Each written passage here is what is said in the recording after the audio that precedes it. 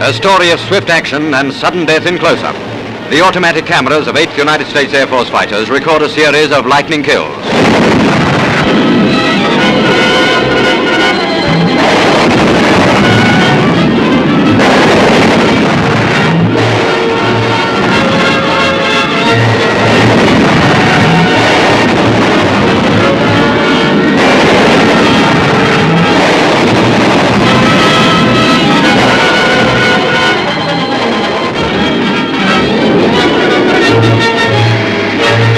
German jet planes. First pictures to be seen on the screen of the revolutionary squirts.